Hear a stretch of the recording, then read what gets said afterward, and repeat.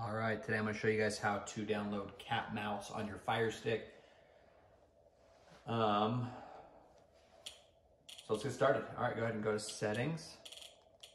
Go to my Fire TV. Make sure developer options is on. Click this one. Hit home on your Fire Stick remote. Okay, go here to the magnifying glass at the top left. Type in DO and scroll down until you hit downloader right there. Click this one with the little white arrow.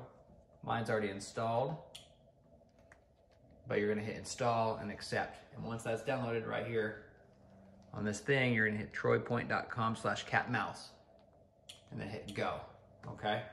Now bear with me because I'm gonna show you guys how to delete this uh, download file. Otherwise it'll take up like a crazy amount of space.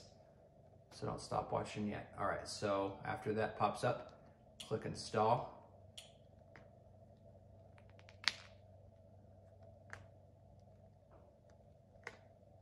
And then once it's installed, it's kind of hard to find. I'll show you guys how to find it. So hit done, and then delete this file right here, okay? Delete the file. Now the next part is finding it. Hit home on your remote. Go to your apps and channels, see all.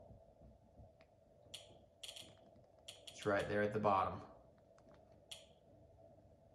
And there it is. Allow. Okay. You could do the EXO player, it's built in. Proceed. All right, here we go. Trending. TV shows, movies. It's got everything y'all could ever want right there. And then my next video, I'll show you guys how to add Real-Debrid. I'll see you guys tomorrow. Peace.